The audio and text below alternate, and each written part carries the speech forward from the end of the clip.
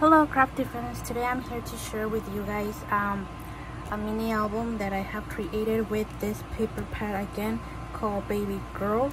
I just have scraps left of this paper pad and like this papers. And then here's all the scraps. This is what i have left. Um, and i'm gonna show you the album. So the album is this and it's a really really simple album. Um, i made it for a friend at my job. Her her in-law had a baby. They were not able to do like a baby shower or anything because it was in the time when we were all in lockdown.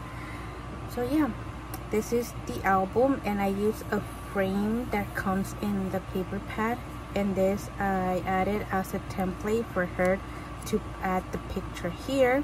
And then I put this ribbon here and trim right here and then this like flat back pearls around it. Um, here on the side I put handmade by me.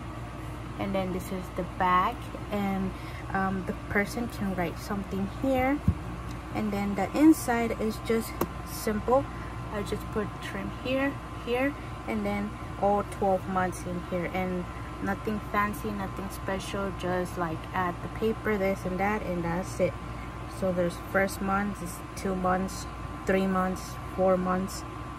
Oh and i left a space open for her to be able to put in the pictures.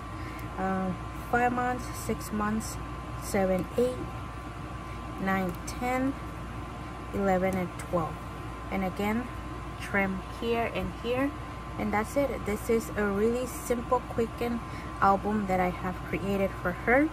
Um, hope she likes it. They are not that crafty. That's why i made it um like this simple and ready to go. Thank you guys for watching. Bye